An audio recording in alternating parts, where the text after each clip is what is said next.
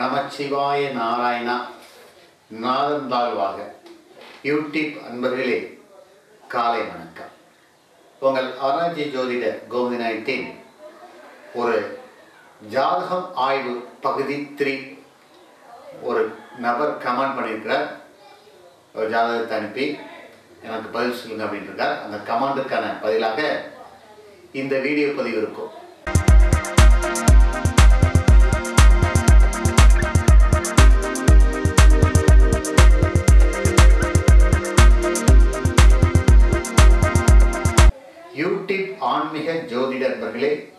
புத்தாண்டு பலன்கள் பொங்கல் வாழ்த்துக்கள். இந்த ஜாதகர் பேரு சத்யா கருணாநிதி. சத்யா கருணாநிதி. ஆனா பெண்ணா என்பது சொல்லலை. ரெண்டு ஆறு ஆயிரத்தி தொள்ளாயிரத்தி தொண்ணூற்றி நாலு திருத்துறைப்பூண்டி. திருத்துறைப்பூண்டி கிட்ட பிறந்திருக்கிறார். சாயந்தரம் பிறந்திருக்கார். ஏழு முப்பது பிஎம். ஏழு முப்பது பிஎத்தில் பிறந்திருக்கிறார். ஆயிரத்தி தொண்ணூற்றி தொண்ணூற்றி நாலு. சுமார் ஒரு இருபத்தெட்டு வயசு ஆயிடுச்சிட்டு இருக்கு ஆனா பெண்ணாங்கிறத சொல்லலை. சத்யா கருணாநிதி அது யாராக இருக்கட்டும். நட்சத்திரம் உத்திரட்டாதி நட்சத்திரம் வேலைக்கிழமை பிறந்திருக்கிறார். உத்திரட்டாதி நட்சத்திரத்தில் வேலைக்கிழமை பிறந்திருக்கிற சத்யா அவர்களே. நடப்பு திசை வந்து புதன் திசை ராகு புத்தி. பத்து ஒன்று ரெண்டாயிரத்தி இருபத்தி ரெண்டுல இருந்து இந்த வருஷம் முதல் தொடக்கத்திலே உங்களுக்கு புதன் திசையில் ராகு புத்தி முப்பது ஏழு ரெண்டாயிரத்தி இருபத்தி நாலு வரைக்கும். இருபத்தி நாலு வரைக்கும் உங்களுக்கு ராகு புத்தி இருக்குது புதன் திசையில் ராகு புத்தி இப்போதைக்கு நடந்து கொண்டிருக்கிறது. லக்கணம் தனுசு லக்கணம். பொதுவாக தனுசு லக்கணத்தில் தனுசு ராசியில் பிறந்தவங்களுக்கு பொதுவான குணங்கள் நல்ல நேர்மையான இறை அன்பு கொண்ட போராடக்கூடிய வைராக்கியம் மிகுந்த ஒரு ஜாதகராக இருப்பாங்க. எதிலுமே போராடக்கூடிய ஒரு தன்மை விட்டு கொடுத்து போகாத வைராக்கியம் மிகுந்த வெற்றியடைனா எந்த எல்லைக்கும் போகக்கூடிய ஆனால் அதில் ஒரு நீதி நேர்மை இருக்கும். தனுசுங்கிறது குருவுடைய வீடு. பொதுவாக தனுசு ராசி தனுசு லக்கணத்தில் கொண்டவங்க குருவுடைய ஆளுமை திறமை அதிகமாக இருக்கும். குரு பகவான் முழு சுபக்கிரகம். அவர் வந்து இறை சம்பந்தப்பட்டவர். பொய் பேசுறது புரட்டு நடக்கிறது எல்லாமே இவங்கிட்ட இருக்கிறது உண்மை நேர்மை நேர்மைக்கு குரல் கொடுக்குற ஒரு நல்ல ஜாதகர். தனுசு ராசியில் பிறந்தவங்களுக்குலாம் இதெல்லாம் பொது பலன்கள். மற்ற கிரகங்கள் எங்கே இருக்குது அப்படிங்கிறத பார்த்து சொல்லலாம். பொதுவாக ஒரு ராசி ஒரு லக்கணத்தை எடுத்தாங்கன்னா இவங்க இப்படித்தான் இருப்பாங்க இதை அடித்து சொல்லலாம். ஆமாம் ராசி இந்த ராசியில் பிறந்தவங்கன்னா அந்த குணங்கள் இப்படி தான் இருக்கும். லக்கணத்தில் இந்த லக்கணத்தில் பிறந்திருக்காங்களா இந்த குணங்கள் தான் இருக்கும்.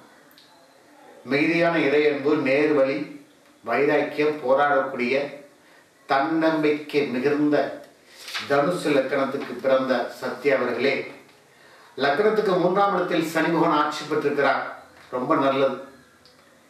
சனிபகவான் மூன்றாம் இடத்தில் இருக்கிறது ரொம்ப அற்புதமான விஷயம். நன்மை செய்வார்.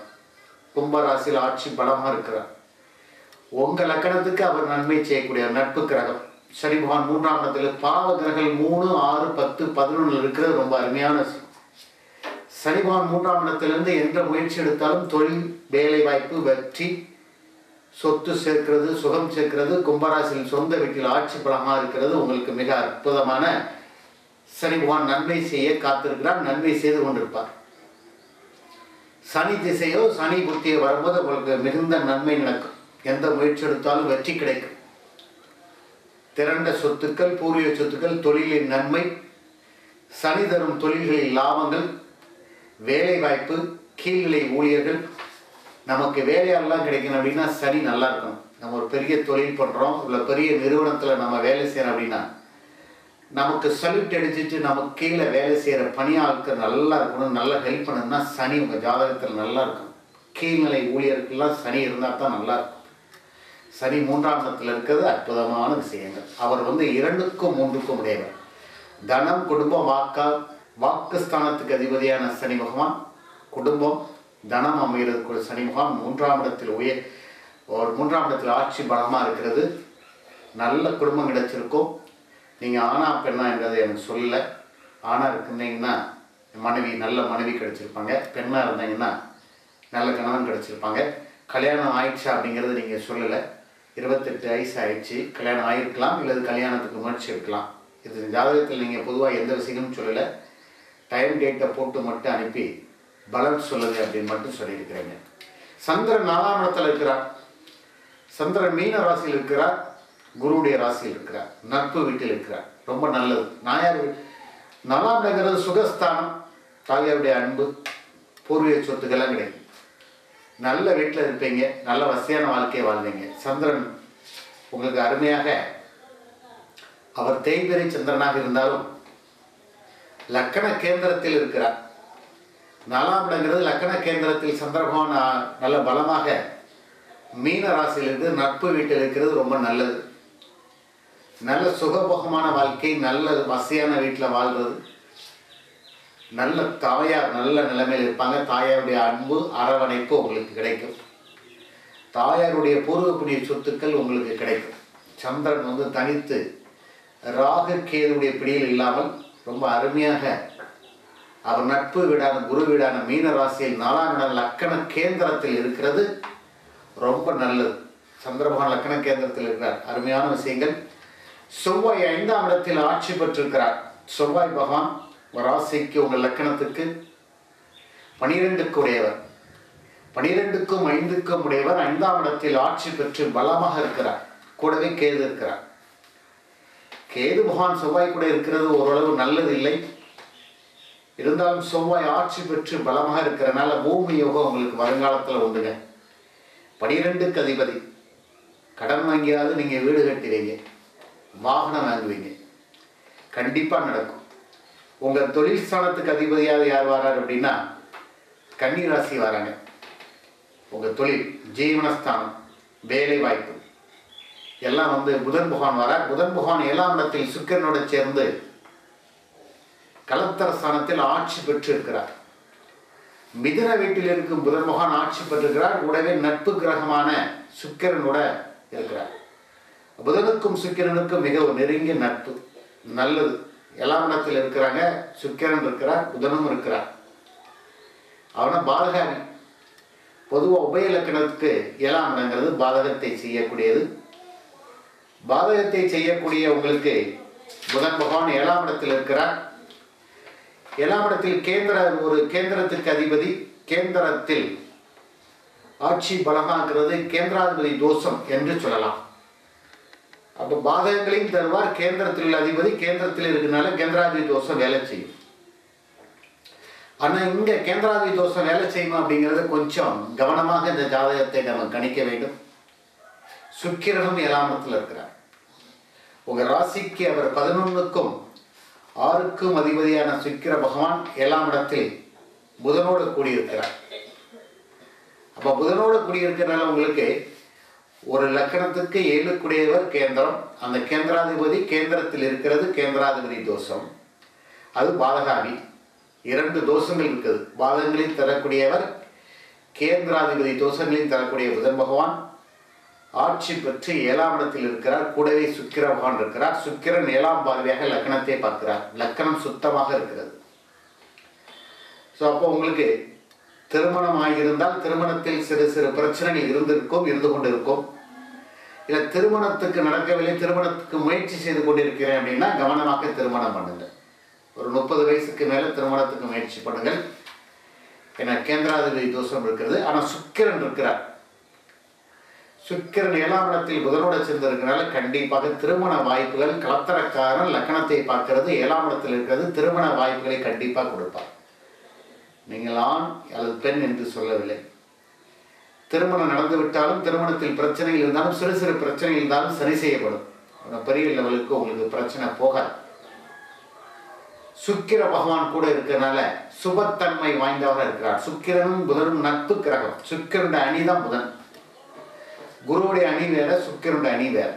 சுக்கிரன் அணியில் இருக்கிற புதன் பகவான் ஆட்சி பெற்று கேந்திராதி தோஷமும் பாதகாதி தோஷத்தையும் வாங்கியிருந்தாலும் அவர் வந்து ஆட்சி பெற்று சுக்கிரனுடைய சேர்ந்து இருக்கனால சுபத்தன்மை வாய்ந்தவராக இருக்கிறார். சுக்கிரன் வந்து பதினொன்றுக்கு அதிபதி. அவர் வந்து இந்த லக்கணத்துக்கு பொறுத்த வரைக்கும் அவயோக லக்கணமாக இருந்தாலும் அவரும் ஏழாம் இடத்தில் கேந்திர ஸ்தானத்தில் இருக்கிறது லக்கணத்துக்கு கேந்திரத்தில் இருக்கிறது கடத்தரக்காரத்தில் இருக்கிறது. ஓரளவு திருமண வாழ்க்கையை ஓரளவு கொடுப்பார். திருமணத்தில் ஒரு நல்ல இல்லறம் இருக்கும். ஆனால் கொஞ்சம் பிரச்சனைக்குரிய திருமணமாகவும் பிரச்சனைக்குரிய இல்லறமாகவும் வாழ்க்கையாக இருக்கும் போராட்டமாக இருக்கும். அது கொஞ்சம் கவனமாக திருமண பொருத்தங்கள் பார்க்கலாம். திருமண பொருத்தங்களை பார்க்கும்போது கவனமாக இருக்க வேண்டும். இல்லைன்னா ஏற்கனவே உங்களுக்கு திருமணம் ஆகியிருந்தால் நீங்கள் கவனமாக இருக்க வேண்டும். உங்கள் லக்கணத்துக்கு பதினோராம் இடத்தில் லக்னாதிபதி குரு பகவான் வக்கரம் பெற்றிருக்கிறார். ராகுடைய பிடியில் இருக்கிறார். வக்கரம் உங்களுடைய லக்னாதிபதி முழு சுபக்கிரகம்.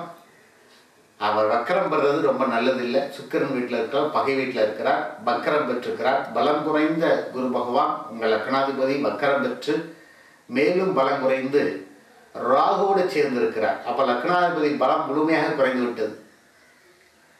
அப்போ சத்யா அவர்களே தனுசு லக்கணத்தில் பிறந்த சத்யா அவர்களே உங்களுடைய வாழ்க்கை கொஞ்சம் போராட்டமாக இருக்கும். லக்னாதிபதி கொஞ்சம் பலம் இழந்துட்டார் அப்படின்னாலே திருமண வாழ்க்கை அல்லது திருமணம் ஆனப்படனாலும் வாழ்க்கை பெற்றோர்களுடைய நட்பு உறவினருடைய நட்பு வேலையில் தொழிலில் எல்லாமே ஒரு கொஞ்சம் முட்டுக்கட்டையாகவும் போராட்டமாகவும் விரயங்களாகவும் இருக்கும். ஏன்னா அது லக்கணத்துக்கு பதினோராம் இடத்தில் இருக்கார் லாபஸ்தானத்தில் இருக்கிறார். ரொம்ப அருமை. வக்கரம் பெற்ற கிரகங்கள் லாபஸ்தானத்தில் இருக்கிறது ரொம்ப நல்லதாக இருந்தாலும் கூடவே ராகு இருக்கிறார். வேலனுடைய ராகு சேர்ந்தால் சண்டால யோகம். அது நெருங்கிய பாகையில் இருக்கிறாரா அப்படிங்கிறது டிகிரி வயசில் நான் பார்க்கல. குருவுடைய ராகு நெருங்கிய பாகையில் இருந்தார் அப்படின்னா குரு முழுமையாக கெட்டு விட்டார் என்று அர்த்தம். ஆனால் நீங்கள் வக்கரம் பெற்றிருக்கிறார். வக்கரம்னா செயல்பட முடியாமல் உங்கள் லக்னாதிபதி இருக்கிறது. குரு சண்டால யோகம் இங்கே வேலை செய்யாது. பொதுவாகவே லக்னாதிபதி கெட்டு விட்டார் இனிமே வந்து அந்த யோகத்தை உங்கள் ஜாதகத்தில் நீங்கள் எதிர்பார்க்க முடியாது. ராகு நெருங்கிய பாகையில் இருந்தாலும் முழுமையாக உங்கள் லக்னாதிபதி கெட்டு விட்டார் என்பதை சொல்லலாம். பக்ரம் வேற பெற்றிருக்கிறார். அப்போ வாழ்க்கை போராட்ட களமாக இருக்கும். போராடி தான் ஜெயிக்க வேண்டியிருக்கும். உங்களுக்கு அதிகமான ஒரு வாழ்க்கையில் ஒரு திருப்தியற்ற நிலைமை கண்டிப்பாக இருக்கும். திருமண வாழ்க்கை பொதுவாகவே திருமண வாழ்க்கையில் திருப்தியற்ற வாழ்க்கை இருக்கும்.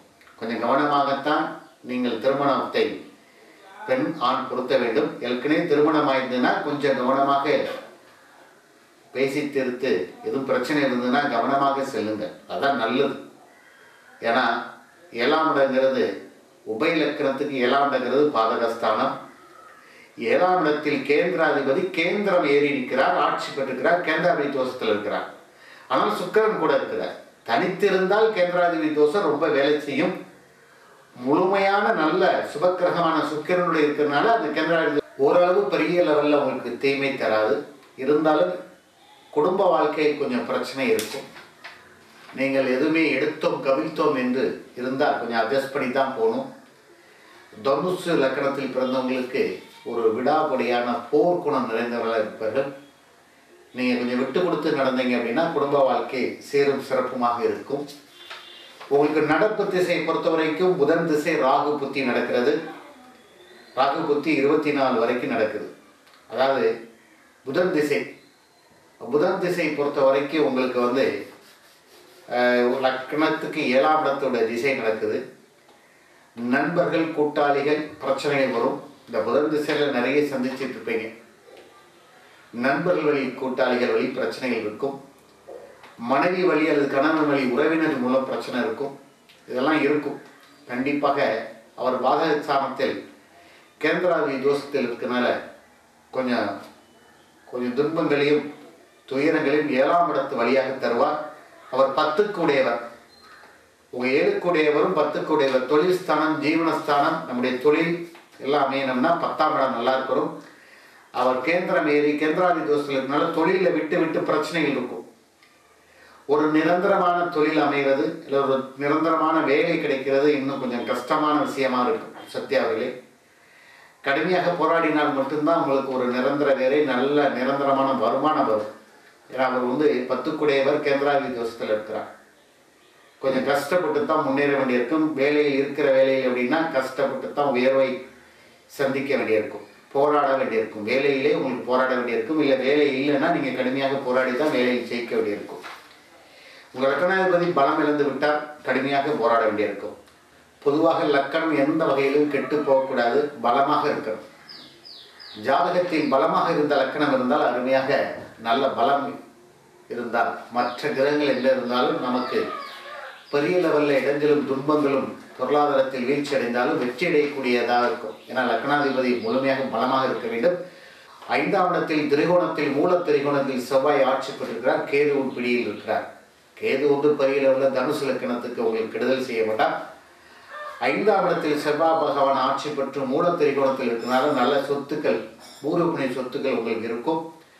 ஆனால் பனிரெண்டுக்கு அதிபதி அதை கொஞ்சம் பைசா கொடுத்து பைசா விரயமாகி தான் அந்த பூர்வப்புணி சொத்துக்கள்லாம் அடைய வேண்டிய பாக்கியங்கள் இருக்கும். ஆனால் நிறைய உங்களுக்கு சகோதர சகோதரிகள் இருப்பாங்க. நல்ல பெரிய குடும்பத்தில் பிறந்திருப்பீர்கள். நல்ல நிறைய சொந்தக்காரர்கள் இருக்கக்கூடிய உற்றார் உறவினர்கள்லாம் நிறைய சகோதரர்கள் சகோதரிகள் நிறைய பேர் இருக்கிற குடும்பத்தில் தான் பிறந்திருப்பீங்க. நல்ல ஒரு ஆளுமை மிக்க குடும்பத்தில் அருமையான குடும்பத்தில் பிறந்திருப்பீர்கள். உங்கள் லக்கணத்துக்கு ஆறாம் இடத்தில் சூரிய பகவான் மறைந்திருக்கிறார். சுக்கிரன் வீட்டில் இருக்கிறார். சுக்கிரன் மீது சூரிய பகவானுக்கு பகை கிரகம். அவர் ஒன்பதுக்குடையவர் பாக்கியத்துக்குடையவர் பாக்கியத்துக்கு ஒரு திரிகோணம் மூல திரிகோணத்துக்கு அதிபதியான சூரிய பகவான் ஆறாம் இடத்தில் மறைந்திருக்கிறது. அரசாங்க நன்மைகள் அரசியல்வாதியுடைய இவங்கெல்லாம் கொஞ்சம் பெரிய இந்த அவ்வளோ விசேஷம் இருக்காது. இந்த ஜாதகத்தை சக்தி அவர்களே உங்களுக்கு அரசு வேலை கிடைக்க வேண்டும் முயற்சி செய்தெல்லாம் கடுமையாக போராட வேண்டியிருக்கும். ஏன்னா சிம்மாதிபதி ஒன்பதாம் இடம் பாக்கியத்துக்கு அதிபதி. அவர் ஆறாம் இடத்தில் மறைந்திருக்கிறார். உடைய செவ்வாய் ஆட்சி பெற்றிருக்கிறார். கொஞ்சம் முயற்சி எடுத்தீங்க அப்படின்னா கிடைக்க வாய்ப்புகள் இருக்குது. இருந்தாலும் உங்களுக்கு ஒன்பதுக்கு பாக்கியத்துக்கு அதிபதி ஆறாம் இடத்தில் மறைவு ஸ்தானத்தில் இருக்கிறது பகை வீட்டில் இருக்கிறது. கொஞ்சம் துட்டு கொடுத்து அரசாங்க வேலைகள் வாங்க வேண்டிய காலங்கள் இருக்கும். ஏன்னா தனுசு லக்கணத்தை பொறுத்த வரைக்கும் யோகங்களை தரக்கூடியவர் சூரிய பகவான். மிக அருமையான யோகங்களை தரக்கூடிய நம்பர் ஒன் யாருன்னு கேட்டீங்கன்னா யோகங்களை தரக்கூடியவர் உங்களுக்கு சூரியன் வந்து ஆறாம் இடத்தில் லக்கணத்தில் ஆறாம் இடத்தில் மறைந்து ஸ்தானத்தில் மறைவு ஸ்தானத்தில் இருக்கிறது அவ்வளோ விசேஷம் இல்லைங்க. அப்போ அரசாங்கத்தில் இருந்து வரக்கூடிய விஷயங்கள் எல்லாமே காலதாமதமாகவும் பிரச்சனைகள் உரியதாகவும் அரசாங்க தேர்வு எழுதி போட்டித் தேர்வு எழுதி அரசாங்கத்தில் வேலை செய்யணும் அப்படின்னா கொஞ்சம் ரொம்ப கஷ்டப்பட வேண்டியிருக்கும் அரசாங்க வேலைகள் முட்டுக்கட்டையாக இருக்கும். பொதுவாக அரசாங்க வேலையில் கிடைக்கணும் அப்படின்னா சிம்மம். சிம்மம் என்றைக்குமே சிம்மாதிபதி. நல்ல முழுமையாக பலமாக இருக்க வேண்டும். சூரியன் நல்ல பலமாக இருந்தால் மட்டும்தான் இந்த அரசாங்க வேலையில் கிடைக்கும். செவ்வாய் உங்களுக்கு நல்ல பலமாக இருக்கிறார். மூலத்திரிகோணத்தில் ஆட்சி பெற்றிருக்கிறார். நல்லது தான் ஆனால் சூரியன் நல்ல பலமாக இருந்தால் உங்களுக்கு அரசு வேலை கிடைக்கும். அல்லது அரசாங்கத்தில் உத்தியோகம் செய்து கொண்டிருப்பீர்கள் என்று கூட உங்களுக்கு சொல்லலாம்.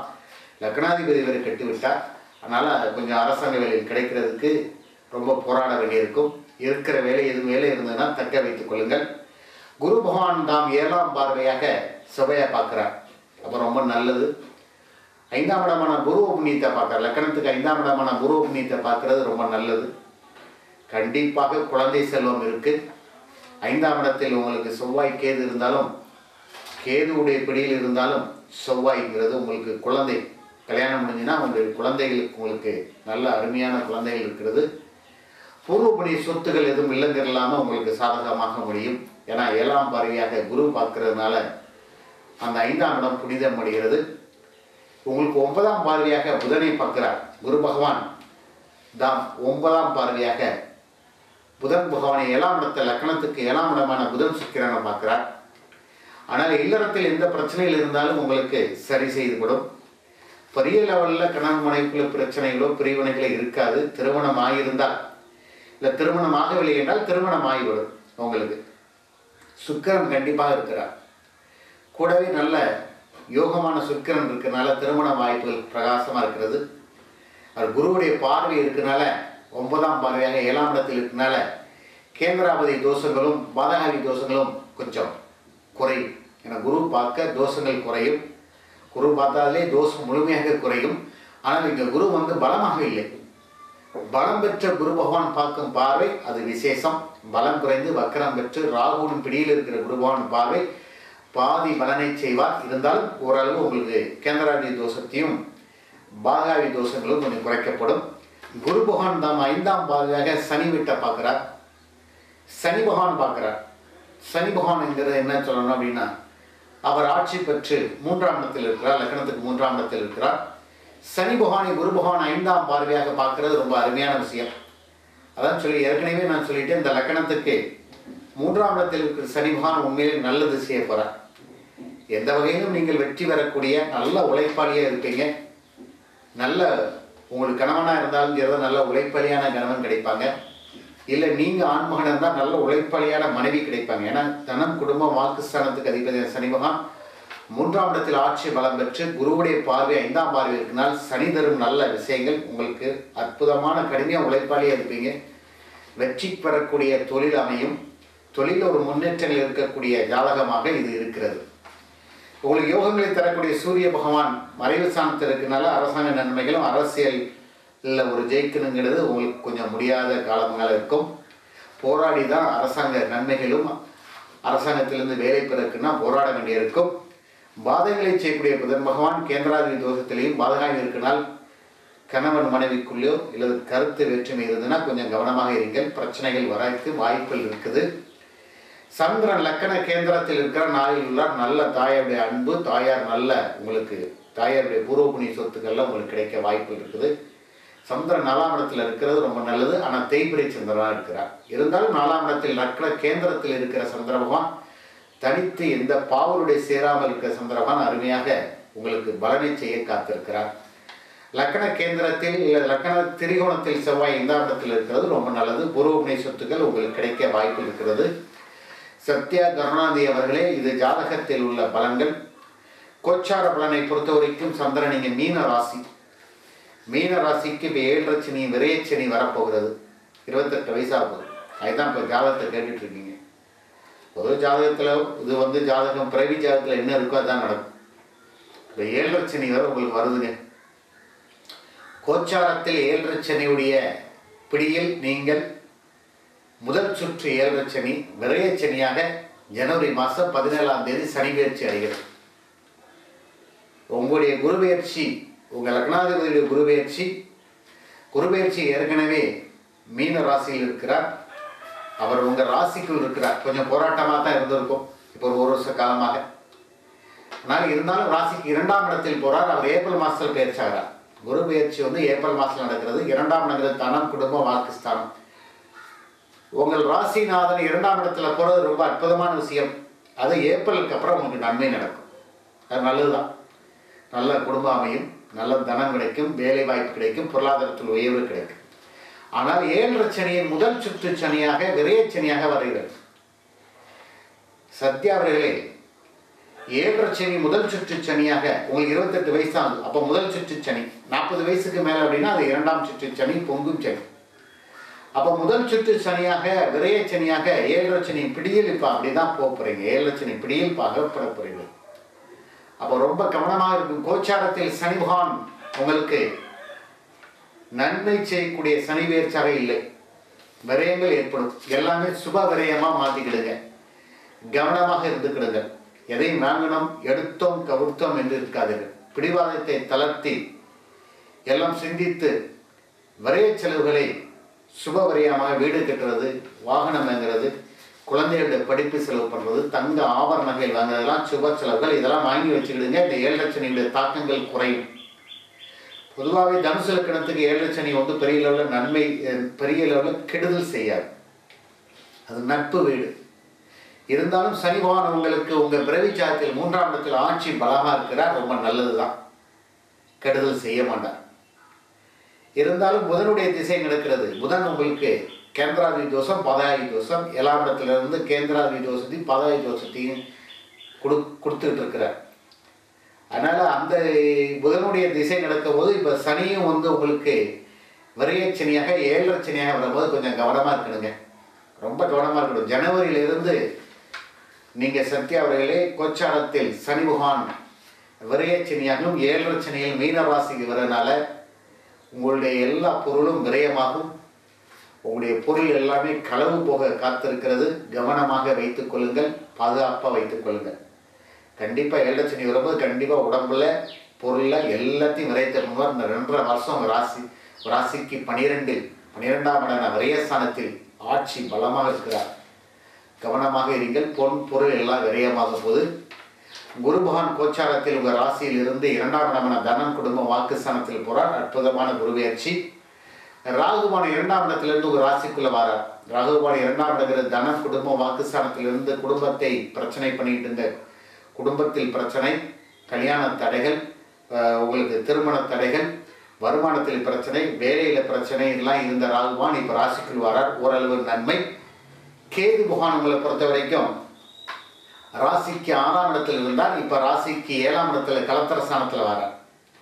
அவருக்கு ராகு கேது பயிற்சி பொறுத்த வரைக்கும் ரெண்டாயிரத்தி இருபத்தி மூன்று நவம்பரில் தான் நடக்குது. அது கவலைப்பட வேண்டாம். ராகு கேது பயிற்சிங்கிறது ரெண்டாயிரத்தி இருபத்தி மூன்று கோச்சாரத்தில் பொறுத்த வரைக்கும் நவம்பர் கடைசியில் நடைபெறுகிறது. சனி பயிற்சி வந்து ரெண்டாயிரத்தி இருபத்தி மூணு ஜனவரியில் நடைபெறுது குருபெயர்ச்சி உங்கள் ராசிநாதன் குருபெயர்ச்சி ஏப்ரல் மாதம் ரெண்டாயிரத்தி இருபத்தி மூணு ஏப்ரல் மாதம் நடக்குது. குருபெயர்ச்சி அற்புதமான குருபெயர்ச்சி கோச்சாரத்தில். சனி பயிற்சி நன்மை தரக்கூடிய சனி பயிற்சி இல்லை மீனராசி அன்பர்களே கவனமாக இருந்தால் சுப செலவுகள் ஆகி இருந்தால் சுப செலவுகளாக மாற்றிக்கிடுங்கள் சிக்கனமாக இருங்கள் பொருளை விரயம் பண்ண வேண்டாம். ஒரு காரியங்களை செய்யும் போது ஒரு தடைக்கு இரு தடவை யோசனை பண்ணி அழகாக செய்தீர்கள் என்றால் சிந்தித்து செய்தீர்கள் என்றால் உங்களுடைய கோச்சாரத்தில் தரும் கெடு பலன்களை சரி தரும் கெடு பலன்களை நீங்கள் கவனமாக இருக்க வேண்டும். இருபத்தெட்டு வயசானது. அது இருபத்தெட்டுனா முதல் சுற்று ஏழரை ரொம்ப கவனமாக இருக்கும் இது இரண்டாம் சுற்று ஏழரை சத்யாவிலே முதல் சுற்று ஏழரை முதல் சுற்று ஏழரை கொஞ்சம் கொஞ்சம் பாடாத்தான் படுத்தும். ஒன்றும் செய்ய முடியாது. நீங்கள் எந்த லக்கணமாக இருக்கட்டும் எந்த ராசியாக இருக்கட்டும் உங்கள் பிரவிச்சாரத்தில் சனிமா நல்லா இருக்கிறார். அது நல்லது தான் இருந்தாலும் கோச்சாரத்தில் தரக்கூடிய தீமைகளை அவர் செய்துதான் ஆவார். அந்த பலன்களை நாம் அணிவித்துத்தான் ஆக வேண்டும். பனிரெண்டில் வாரார் கவனமாக இருங்கள். திருமணம் ஆகியிருந்தால் கணவன் மனைவிக்குள்ள ஒற்றுமை இருங்க. இல்லைன்னா கணவன் மனைவிக்குள்ள பிரிவினை இருக்கும். திருமணம் ஆகவில்லை என்றால் திருமணம் ஆகிடலாம் திருமணம் ஆகும். ஏன்னா கண்டிப்பாக இரண்டாம் இடத்து குரு போகிறார். சனி வந்து பனிரெண்டில் வந்தாலும் திருமணம் ஆகும். திருமணம் சொத்து சேர்க்கை எல்லாம் நடக்கும். கொஞ்சம் கஷ்டப்பட்டு விரயம் பண்ணி செலவுகள் பண்ணி திருமணம் ஆகிட்டு இருக்கும். அவ்வளோதான் நடக்கும். காலதாமதம் ஆகும் ஆனால் திருமண வாய்ப்புகள் இல்லை என்று சொல்லவில்லை. பொதுவாக ஏழரை சனி காலத்தில் திருமணமே நடக்காது. திருமணமே பண்ணக்கூடாதுன்னு சொல்லக்கூடிய ஏழரை சனி காலத்தில் தான் திருமணம் நடக்கும். ஏழரை சனி காலத்தில் தான் சொத்து சேர்க்கை நடக்கும் வாகன சேர்க்கை வீடு திருமண வாய்ப்புகள் குழந்தை பிறப்பு எல்லாமே நடக்கும். அதெல்லாம் கவலைப்பட வேண்டாம். ஏழரை அற்புதமாக திருமண வாய்ப்பை கொடுப்பார். என்ன விரைய செலவுகளை வைத்து திருமண வாய்ப்பை கொடுப்பார். கவனமாக இருங்கள். கோச்சாரத்தில் சனி பயிற்சி அவ்வளவு நல்லது இல்லை சனி பயிற்சி இல்லை. ராகேது பயிற்சியும் சுமாரான பயிற்சி உங்கள் ராசிநாதன் குரு பயிற்சி அற்புதமான இரண்டாம் இடத்துக்கு போகிறார் ஏப்ரலுக்கு அப்புறம் உங்களுக்கு நல்ல பொருளாதார வா- வாய்ப்பு வேலை வாய்ப்பெல்லாம் கிடைக்கும். இந்த ஜாதகத்தை பொறுத்த வரைக்கும் பலன்களை சொல்லிவிட்டோம். உங்களுக்கு பிடித்திருந்தால் ஒரு லைக் பண்ணுங்க ஷேர் பண்ணுங்க. சத்யாவர்களை யூடியூப் ஆன்மீக ஜோதிட அன்பர்களே யாருனாலும் ஜாதகத்தை அனுப்புங்கள். உங்களுக்கு டைம் டேட் பிரத்து எல்லாம் சேர்த்து அனுப்புங்க. உங்களுக்கு ஒரு தனி வீடியோவாக நம்ம இந்த மாதிரி உங்களுக்கு விளக்கமாக போட்டு நன்மை செய்த உங்களுக்கு உதவி செய்ய காத்திருக்கிறோம். கண்டிப்பாக சப்ஸ்கிரைப் ஷேர் பண்ணுங்கள் உங்கள் வீடியோ அடிக்கடி பார்த்து எங்களுக்கு ஒரு ஆறுதல் தந்தீங்க அப்படின்னா உங்களுக்கு நாங்கள் இன்னும் மேலும் மேலும் வீடியோ எங்களுக்கு ஒரு வாய்ப்புகள் தாருங்கள் என்று கேட்டுக்கொண்டு விடைபெறுகிறோம். நன்றி வணக்கம்.